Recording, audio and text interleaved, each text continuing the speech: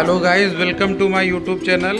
जैसा कि आप देख रहे हैं, मैंने अपने दोस्तों के लिए बोतल मंगाई है। दारू वाली नहीं, पीने वाली।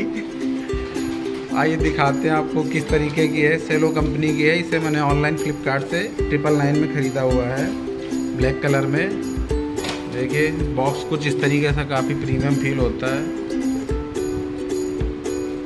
ये देखिए बोतल। काफ़ी खूबसूरत बोतल लग रही है। ये टैग दिया हुआ है पकड़ने लटकाने के लिए। और ये रेड कलर का जो इसमें ये डाल रखी है, काफ़ी खूबसूरत लग रही है। Twenty four hour hot and cold रहता है। और ये इसका ढक्कन है, ढक्कन खोलो ज़रा।